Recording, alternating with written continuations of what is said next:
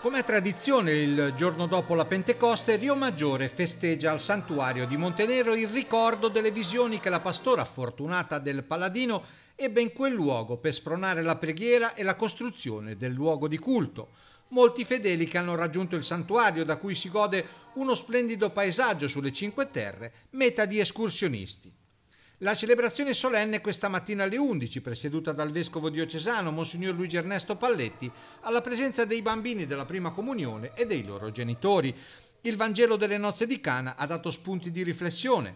È Maria ad indicarci di fare ciò che il Signore ci dirà, prevedendo e anticipando i nostri bisogni e le nostre necessità, non sempre però il nostro atteggiamento si adegua a questo insegnamento e alla richiesta di aiuto per i nostri bisogni si associa spesso anche la soluzione che richiediamo secondo una nostra visione terrena.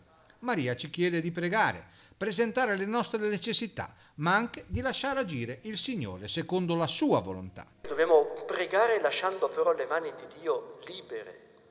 Non possiamo preconfezionare le risposte delle nostre preghiere altrimenti rischiamo di dire Dio non mi ascolta, mentre invece ascolta e ci vuole bene e ci viene incontro anche tutte quelle volte che apparentemente non ci dà quello di cui abbiamo bisogno, o meglio, che noi pensiamo di averne bisogno, perché Lui ci risponde come Padre.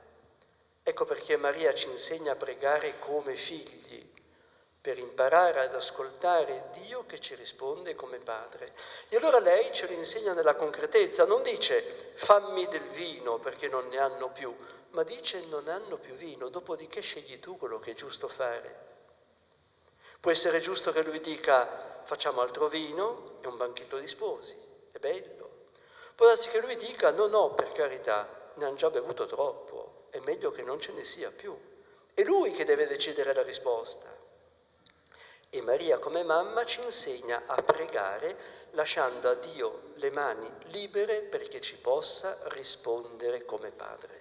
Al termine della celebrazione il parroco Don Giordano Biso ha ringraziato il vescovo per la sua presenza, ricordando gli eventi che hanno dato vita al santuario. In questo santuario, eccellenza, tutto è iniziato perché la pastora fortunata del Palladino un giorno vide pascolando il gregge su questo colle non la Madonna, ma una chiesa edificata, l'altare e preti che celebravano la messa.